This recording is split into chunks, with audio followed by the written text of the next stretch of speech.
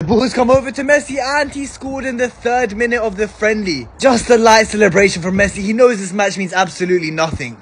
Neymar steps up to take the penalty. He's on the starter and he's missed the penalty. He apologizes to his teammates while smiling. He knows it's only a friendly match. Balls come to Mbappe. He's showing off some skills. He's just having some fun. He's just enjoying himself. It's only a friendly match at the end of the day. Ronaldo steps up to take the penalty he's absolutely smashed it into the top corner. And Ronaldo's going crazy. He does a celebration. Look how much it means to him. Look how passionate he is.